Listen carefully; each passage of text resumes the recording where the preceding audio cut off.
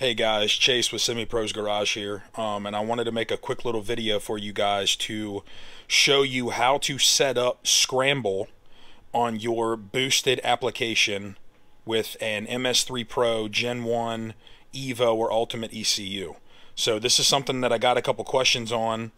Um, you know, some people didn't even know that it was a thing that you could use.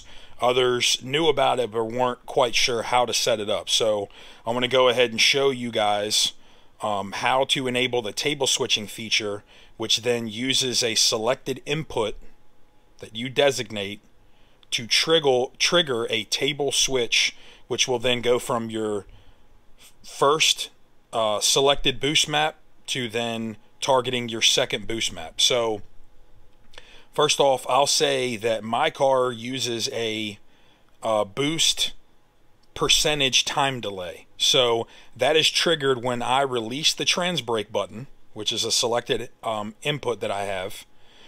Whenever I release that button, it then starts my time delay. So your scramble button will work in sequence, like it will coincide with that, but after your you know time delay is met, your scramble will then trump that. So um, I will show you guys. You will go into, I'll show you guys how to do that now. You'll go into your boost settings.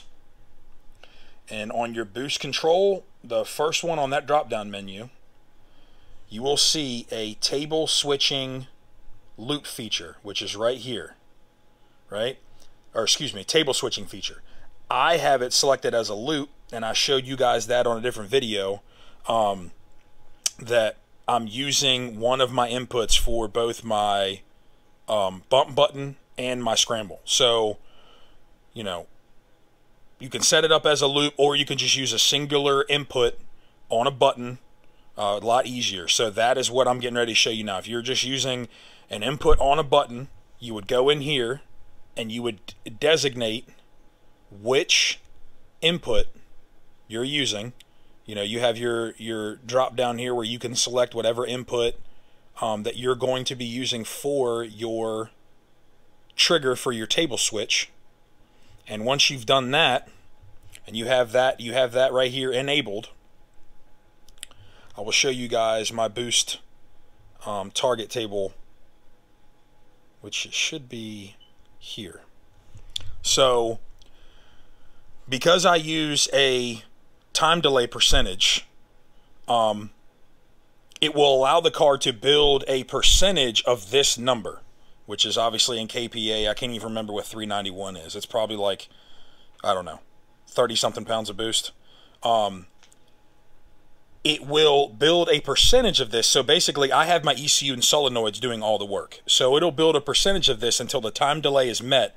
Then it will target this number which is perfectly fine to just have your map set all as one number just like this. So that way you don't run into any complications. So this is my first target boost table. Now, when I grab the scramble button and I hit that input which you have selected for your table switching, then you will be allowed to have a, this will be lit up for your boost control target table 2. This will be what your target is on your scramble, like when you're holding that scramble button. So when you do that, you can obviously see that I don't think I have much of a difference, to be honest with you, maybe like a couple pounds of boost. Um, but you would set your secondary, your second boost control target higher than your first. So that way, when you grab your scramble button, it is then targeting this table. So when you've gone in and you've selected, you know, you've done your um, right here where you've enabled your your boost switching here on this drop down right there. And then you build your map and you do whenever you grab that button it will then target your higher boost level. So that is how you enable scramble on your ms3 pro gen 1 evo or ultimate. So stay tuned for the engine build. That will be our next video that we post currently that's being edited. So wanted to show you guys that real quick and stay tuned.